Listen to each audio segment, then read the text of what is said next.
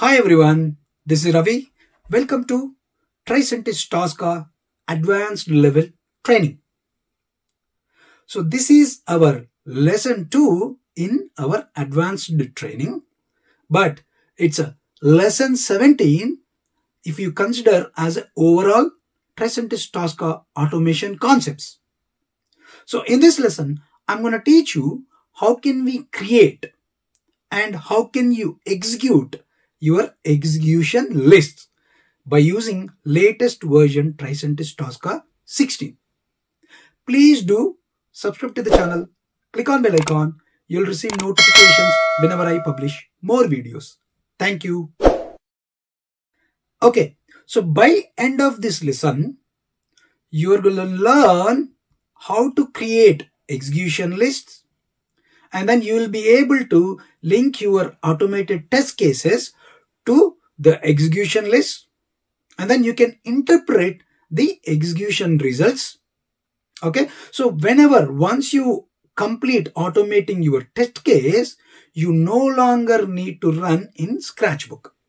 Because in our previous sessions we used to run in the scratchbook. So running in the scratchbook is just to just for the trial runs to make sure your automated test cases will work. But for proper test case execution, the recommendation is to use your execution lists where it stores all the results and history of your test runs. Okay, so now let's jump onto the system and understand how can we create and execute our execution lists. So this is my uh, Tosca tool, right? So till date, we were talking about the test cases module, right? I have already um, teached you about the modules, how to create modules, and then we also worked on test cases. So these two sections we already worked on. Now for execution, to create execution lists, we'll start working on the new section called execution so you need to navigate to execution section and under execution section, under execution lists, right click and let's create a new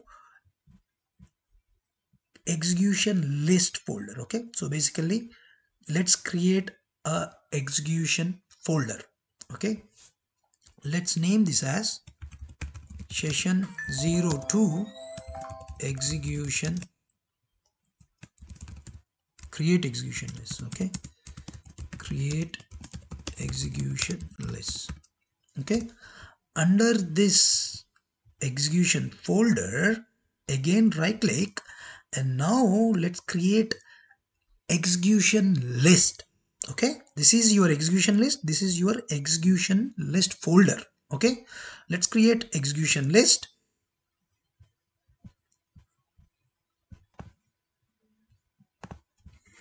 and name this as shopping.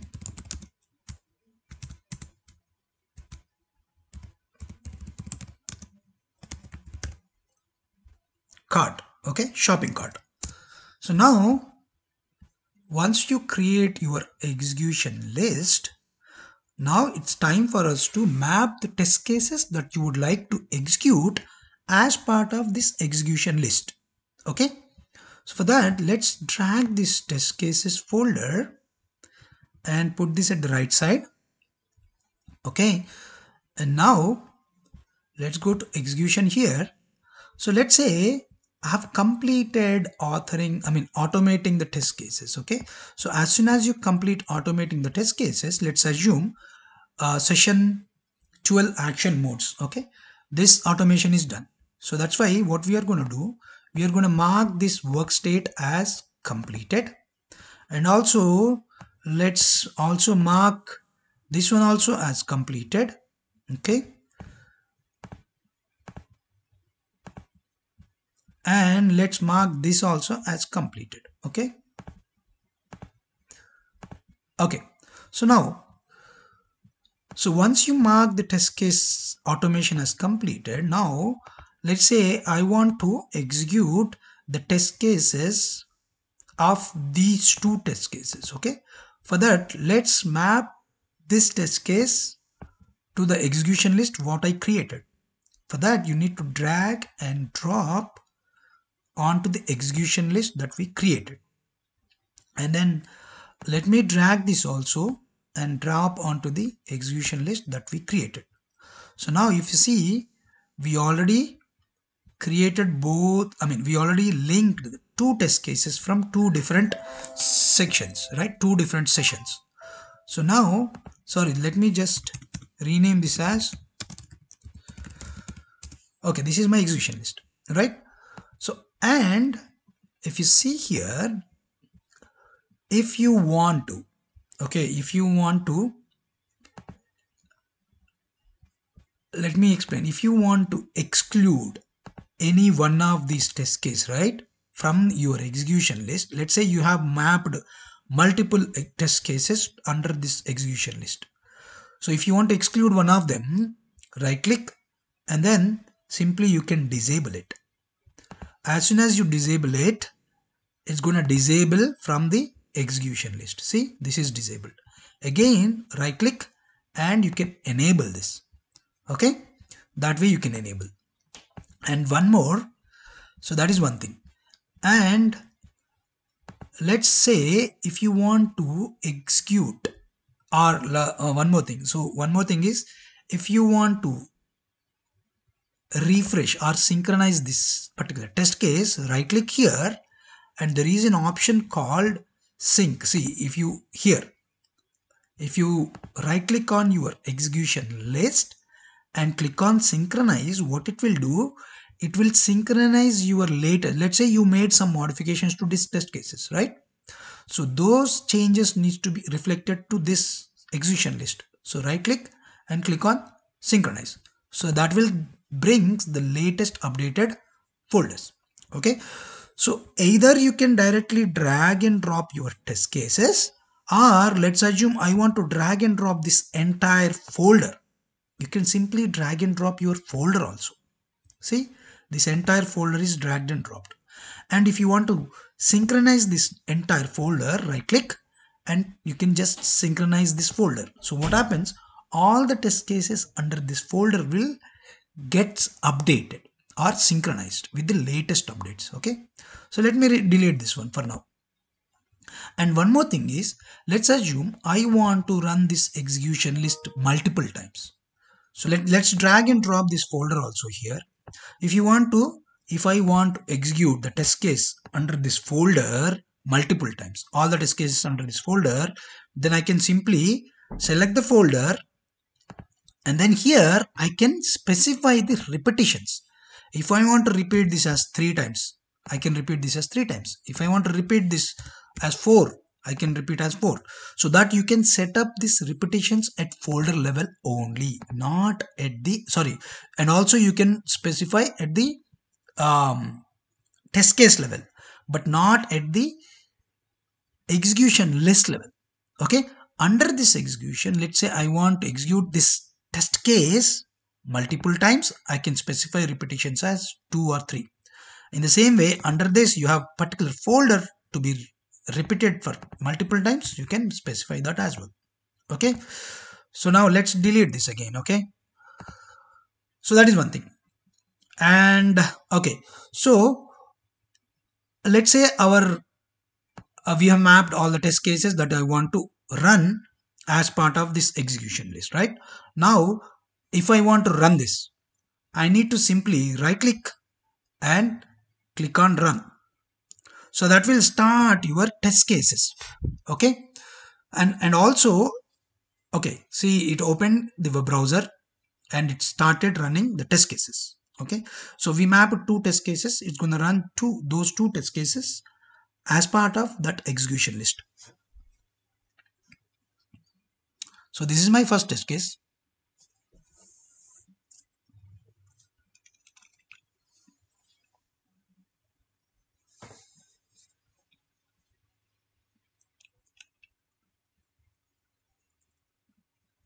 okay so it's executed and then done. And then it's going to start executing my second test case. See it started executing my second test case. So it might get failed because of some issues with the test case. But however let it fail also okay? I just failed it okay? I want to show how can we analyze the test results. If you see here under execution lists it is gonna maintain your history okay this is my one run first run of my first test case.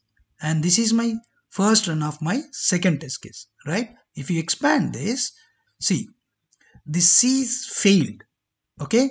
So if i want to analyze this double click on this sorry double click on here and then you will get the details. See the matching tab was not found okay? So this is what the error i got right so basically you can see all the logs of your execution right?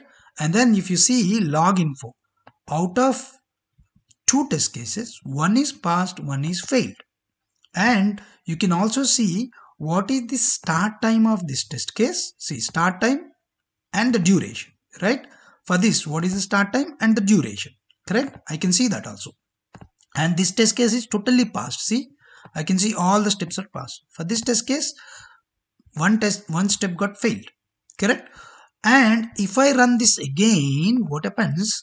It's gonna append new row okay? So basically it maintains entire history of your test runs for this execution list and for these test cases okay?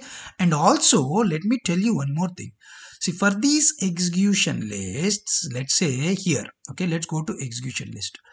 If i specify any test configurations okay so let's go here. Under this test case let's say under this execution list i have two test cases correct?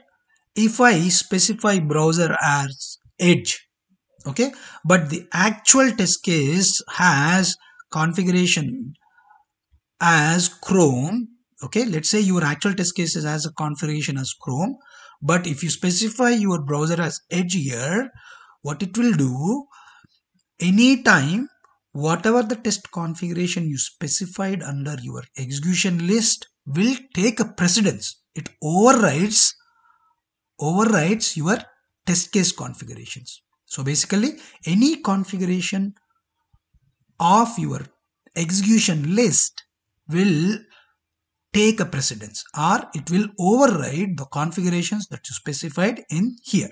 Okay if you specify if you if you don't specify any test configurations at execution list level then it follows the configuration of your test cases.